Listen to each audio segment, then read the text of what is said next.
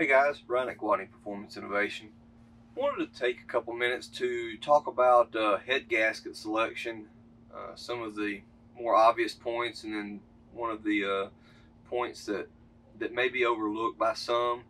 Uh, I figure I'll go over this, and it, it's a situation we see more often than not with uh, ported cylinder heads and aftermarket head castings, uh, different various builds offer different uh, areas of concern. So uh, we see sometimes, you know, builds come through the shop, uh, whether we're freshening up or whether it's a fresh build uh, with some of our head castings.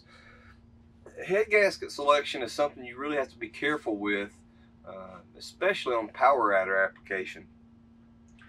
You know, not only are we looking at um, that deck height to see if if the piston's out of the hole, in the hole, um, that helps us determine what gasket thickness we need to run.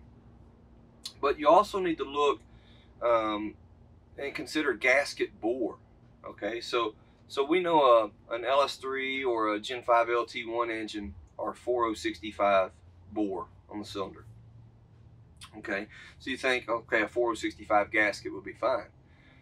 Well, a, factory LS3 head chamber is 4072 or so, a little over 400, uh, 4070. So, you know, you have to be careful that your gasket doesn't hang off into the chamber. And I'll show you a little bit what I'm talking about here. So here's a 821 casting. And uh, just for example, this is a, I grabbed a gasket that, uh, for a build we've got going on in the shop, which is an alcohol turbo build. Um, this is a copper gasket because it's it's going on, like I said, a double O-ring uh, alcohol turbo setup. But, um, you know, just laying this gasket up here, it looks pretty close, and it is. This copper gasket's a 4060 bore, but it does hang over uh, just a little bit on the sides here. You got to be careful with that because we've seen cars come in here in the past. Uh, give you an example. I had an LS7 that came in here a couple years ago. This had detonation like crazy on a naturally aspirated setup. And uh, we finally figured out the head gasket that was used was too small for the head chamber uh, and actually the bore in that situation. So you had head gasket hanging over um, inside there and it just created a hot spot that uh, created numerous tuning issues. You couldn't take enough timing away from this thing to keep it from detonating. So uh, that's that's one that uh, really sticks out uh, you know, goes along with exactly what I'm talking about. So you really need to consider this chamber width and not only just your engine uh, bore because different heads are going to have different chambers. You, you widen this up, you unshroud these valves and you know, yeah, that helps flow, but you need to make sure your head gasket is not hanging over past this chamber diameter. And uh, same thing, uh, that was a 821 head.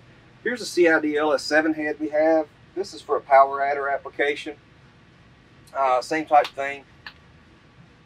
In a lot of situations, if we're not running a copper gasket uh, or multi-layer gasket, we'll run like this Athena head gasket.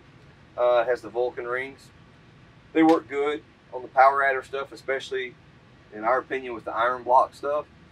Uh, but in this example, this CID uh, head chamber that we did, a combustion chamber we did and developed for this one, uh, has a little small soft chamber, but the the max width of this chamber is only 4127. So, you know, obviously we designed this around a 4 427 engine setup or 4125 bore setup. Uh, but this head gasket is 4174 uh, as far as the, the diameter of the ring.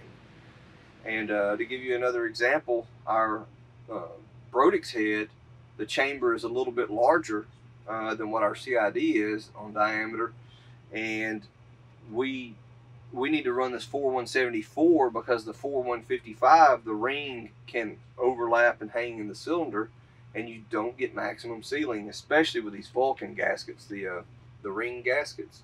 You really need to make sure uh, that you have your your diameter correct on that as well. And uh, last example would be our uh, our CID LT head. Uh, this is one of two chambers we offer. Uh, this is our LT4 style uh, chamber, the, the larger chamber volume. It's about 63 cc's.